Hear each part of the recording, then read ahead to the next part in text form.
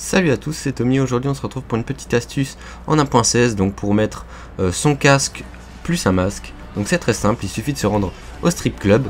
Donc vous rentrez dans le strip club avec le casque que vous voulez.